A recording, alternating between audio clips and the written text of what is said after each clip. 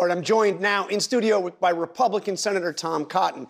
so, Senator Cotton, before we get to the campus situation in 2024, I want to ask you about Ukraine. You have been a prominent and consistent supporter for, for U.S. support for Ukraine against Russia. Uh, but right now, we are seeing a situation in the House where Speaker of the House, Johnson, is facing an effort to throw him out as Speaker because he made it possible for the House to pass that bill. Well, first off, I want to say I think Speaker Johnson is doing an outstanding job. I, I, agree with President Trump on that. I agree that we need to have unity in our party right now as we face off against Joe Biden and the Democrats. And the le- legislation that the House passed and that we passed after the House was not just about Ukraine, it was also supporting Israel and supporting Taiwan, taking actions like making sure TikTok has to, or TikTok's parents company has to divest new sanctions on Russia, the ability to take Russian assets to support U- the Ukraine war effort in the future. So it was a vital piece of national security legislation. The large majority of Republicans supported it, and I think you're going to see the large majority of Republicans back Speaker Johnson next week as well. But, but actually, in the House, a majority of Republicans voted against it. And well, about two thirds of House Republicans said they wanted to support Ukraine in one way or another, even if they didn't support that specific piece of legislation. It was a much smaller majority that voted to cut off aid entirely. So Speaker Johnson has about two thirds of his entire conference behind him on that specific issue, and almost all of them behind him on the question of Israel or Taiwan, for, for instance. Unlike the Democrats, who are deeply divided about Israel's war of survival against Hamas in Gaza. And, and, in the Senate, it was a majority, solid majority, uh, that, that, that, supported this, but 15 Republican senators voted no. And I was struck by what Senator Mike Lee, a Republican colleague in the Senate, uh, said about Ukraine funding, uh, Taiwan, Israel, all, that whole package. Uh, he said it was unadulterated capitulation to vote for that bill, um, and that it was a bill that was a, a warmonger wish list a warmonger wish list pushed through by Speaker Johnson.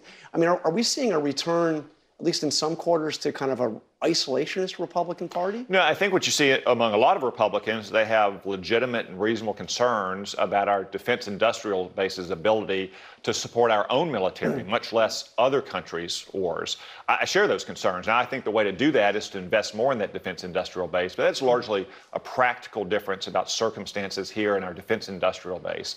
The Democrats, though, they have deep philosophical divisions on Israel. That's why you see all these little Gazas out there on campuses where you have people chanting vile anti Semitic rhetoric. That is not something that's going to go away. Well, let, let me ask you about that. We, we saw President Biden come out. I mean, it was, I'm sure you think it was too late, but he did come out and he clearly condemned the violence.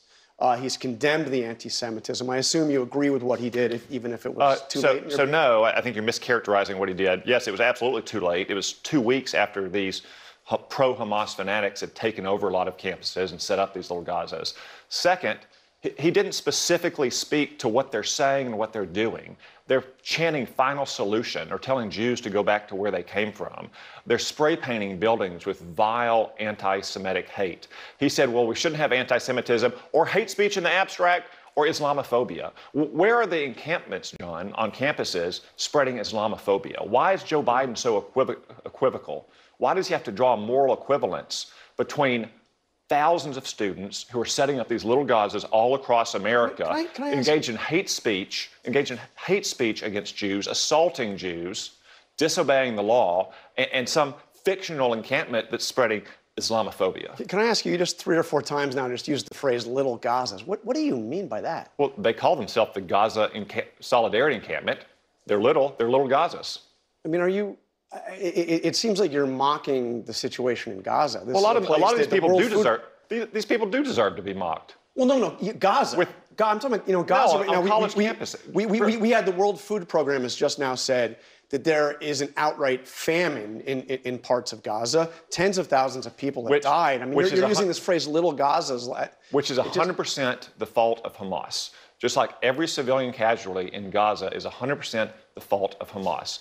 Yet Joe Biden, for seven months, has leaned on Israel, has pressured Benjamin Netanyahu, has told them to stand down when they get attacked by Iran, has said that they can't go into the last holdout where Hamas has its final terrorist battalions. But no, these students on campuses, they deserve our contempt. They also deserve our mockery. I mean, they're out there in their N95 masks in the open air, with Look. their with their gluten allergies, I- demanding I- that Uber Eats get delivered to them. They should not have been allowed to fester on campus for two weeks when these liberal administrators and liberal politicians refused to send in the police to clear them out the very first day they set up their tents. I mean, look, it's clear there's been some vile stuff going on in some of these protests. It's also clear that there are some people exercising their, their right to, to protest you can protest- you can policies. I I- assume we can agree that that's okay. You can protest all you want. If you want to make a fool of yourself and support a terrorist group, you can do that. Now, if you're a foreigner, you can't.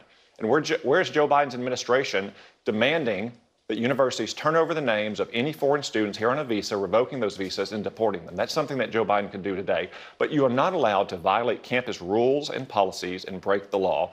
Where were the liberal administrators and liberal politicians sending in the police on the very first day? We should not have tolerated this for a moment. I mean, you have Jewish students who have been assaulted on campus. Jewish students have been told it's not safe for you to come. Go back home. Just blocks from here, just blocks from here, John, you have one of the biggest little Gazas left at George Washington University. Yesterday, they called for a guillotine for the beheading of university administrators.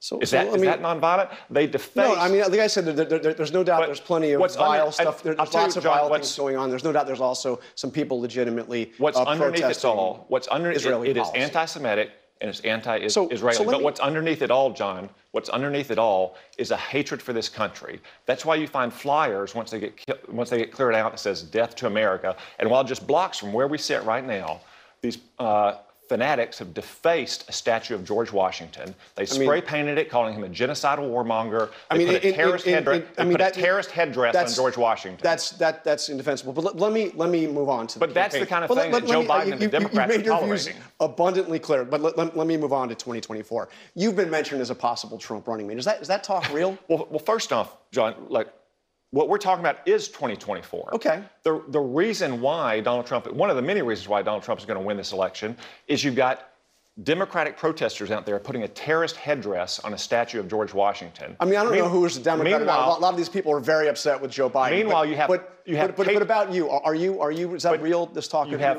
you, you as have a running pat- patriots like these frat boys at UNC and around the country who are defending the American flag, and Joe or, and Joe Biden refused for two weeks to come out and denounce it.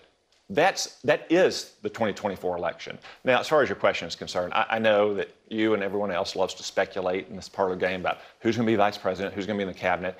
I don't think it's particularly helpful to Donald Trump. I don't think that it's good to be out there campaigning and, and putting Would stuff you forward serve for as the his job. running mate if asked? But John, John, it's not helpful. What Donald Trump is focused on is winning this election. What I'm focused on is helping him win and making sure Republicans win the Congress. When he's ready to make his decision about vice president, he will. After the election, he'll, he'll make his decisions about the cabinet. Until then, anyone out campaigning for the job or, or pushing for the job is not helpful to what we should all be focused on, which is winning the election. You remember what happened to the last vice president, uh, Mike Pence? Did, did he did Pence do the right thing by not doing what Trump asked him to do on January 6th? Look, I- think the Constitution was clear that neither the Congress nor the Vice President had the ability to reject those electors. It's also clear that it wasn't going to work because Nancy Pelosi controlled the House. So, so let me ask you, you, you, you were very clear and unequivocal in, in what you said on January 6th and in the aftermath. I, I want to pull up a quote of a specific line you said on that day. Uh, it's past time for the president to accept the results of the election, quit misleading the American people, and repudiate mob viol- violence. More than three years later, Trump has still not accepted the results. Well- he is still misleading the American John, people. he, John, he did it. He did it that very day. He put out videos and he put out statements on social media telling those uh, rioters to stand down, just like he had said in the speech that day. No, no, you said it's past time for the to president to accept the results. He to still hasn't- protest peacefully, John. He still hasn't accepted the results of the election. I mean, John, he, he, he says, and I agree, that the election was not fair, that it was rigged in many ways, with Democratic states and cities changing election law and election practices up to the last minute, with the media, to include your network, and 51 Democratic intelligence operatives saying the Hunter Biden laptop was Russian disinformation. And social media then censoring all those things; those were all deeply unfair. I mean, he was talking I- about now, I- rigged voting machines and everything I, no, else. I, You no, know, I yeah. never, I never, not- Yeah. and Donald Trump is not like we never said like you know I don't know crazy conspiracies about Venezuela rigging Yeah. the voting machines, but look, Just, just, just, just one, one last thing on this. He's also calling the people that attacked the Capitol hostages, and he's suggesting that he would may pardon all of them. I mean, I assume you don't He said, agree with that. he said that he would consider pardons, and some of them. and he called des- them hostages. Some of them probably deserve. John, some of them have been held in pretrial detention longer than the crimes for which they are. so you agree these are hostages? Some of them have been held in pretrial defen- detention longer than the sentences for the crimes with which they are charged. Now, anyone who assaulted a police officer or damaged public property, that's different. For, for people who just wandered into a Capitol they thought was, o- was open or was on the grounds, and where where's the I mean, charges? wasn't like wandering. This wasn't Where- a tourist visit. I mean, where's you, all- you haven't said this Where's all the? No, I've said for a long time that the DOJ is using investigative techniques and tactics that they didn't use, for instance, when you had a left-wing street militia threatening to assassinate Supreme Court justices. They're not using to But, clear but, out but for the little- record, you're not in favor of pardoning people that attacked police officers or broke into the Capitol building. No, pe- people who were involved in that riot, who assaulted police officers, or who defaced and damaged public property, should face the legal consequences. But we shouldn't be using the kind of Isn't it, isn't it odd that the Republican nominee doesn't or doesn't agree with that? No, he said that he does agree with that, John. What what shouldn't be used is every grandma who had a red MAGA hat that was within a country mile of the Capitol on January 6th shouldn't be sitting in pretrial detention for a longer time than the uh, crimes for which they might face a sentence. All right, Senator Cotton, thank you very much for joining us here this morning. Thank you.